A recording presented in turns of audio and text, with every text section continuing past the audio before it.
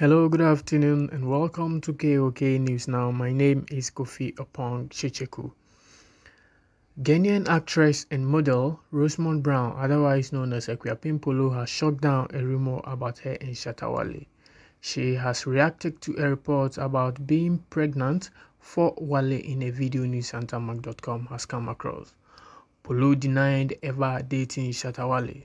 Again, she stated that she's not pregnant with the Shatta movement leader. She wondered why people will make such stories when she is not even pregnant. Akuapem Poloo questioned if people are cooking such stories because of the phone and money she received from the musician. Poloo asked rumormongers to stop giving her problems. The video was on the heels of her explanation yesterday that she got a protruding belly after eating a lot of banku and okro before a photo shoot. So, what is this news that is roaming around just like that? All of a sudden, news can go around like that. Where did I stand to say that I dated Shatta Wale? Where did I say that I'm pregnant for Shatta Wale? How?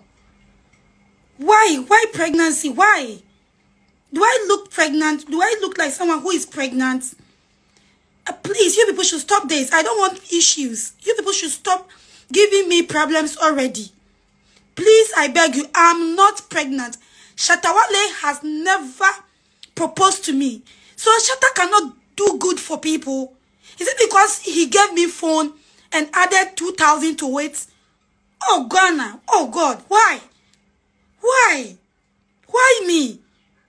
Why all this? Please, so I beg you in the name of God. I'm not pregnant for Shatta Wale. I'm not pregnant at all.